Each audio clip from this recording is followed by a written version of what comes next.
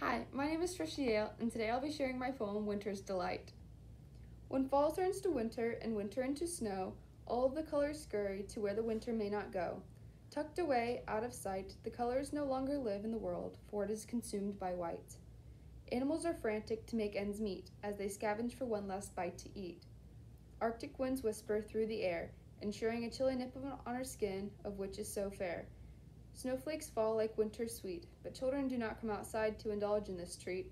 Rather, they stay warm inside today by the warmth of the chimney sweep, eating their curds and whey. So, in a world full of white, as winter tends to stay, bring color into the light, for you too will be cold, white, and old someday.